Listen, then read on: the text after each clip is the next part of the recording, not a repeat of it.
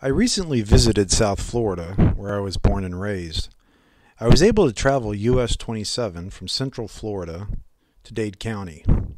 Along the road, I made some mental observations about this road, the canals, the general area, and how they affect the evaluation of the flat tire murders and canal cases. To describe US 27 from Palm Beach County to Dade County as isolated is certainly an understatement.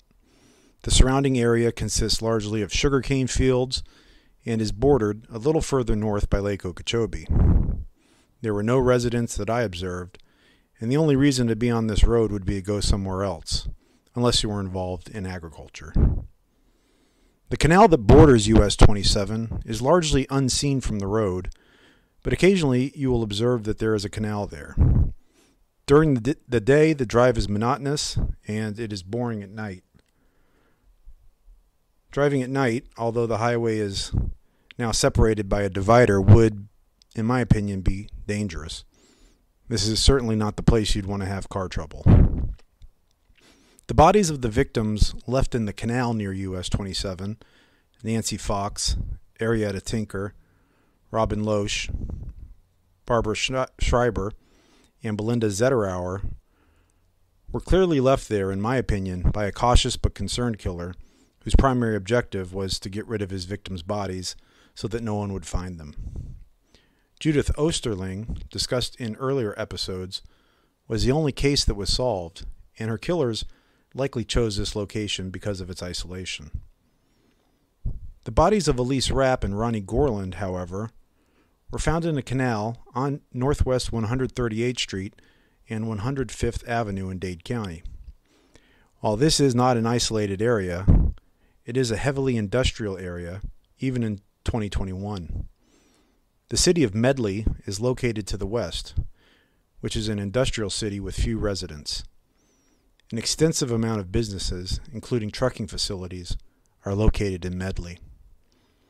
The killer who dumped the bodies of these two victims in this canal, unlike the other cases, may have appeared less concerned about the victims, the discovery of the victims, as it would appear far more likely that they would be discovered fairly quickly.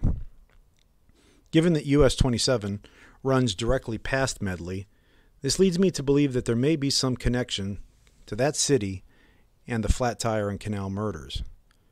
This issue will be explored further in upcoming podcasts.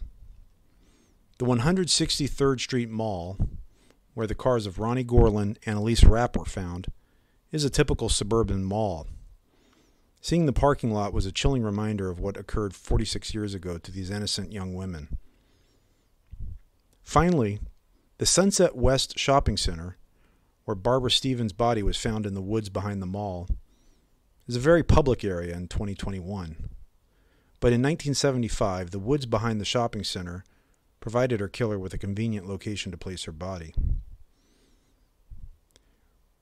Again, this is a suburban area where it's likely that the victim would eventually be found, unlike the canal bordering US 27, which is a isolated area. Returning to South Florida and viewing these locations where the crimes occurred was a sobering reminder that these cases have remained unsolved despite the best efforts of law enforcement. But who is responsible? My upcoming book, The Flat Tire Murders, Unsolved Crimes of a South Florida Serial Killer, will explore these cases. It will be released in the upcoming month and is available on Amazon and barnesandnoble.com. I welcome your thoughts and comments. Please leave them below and thank you for listening.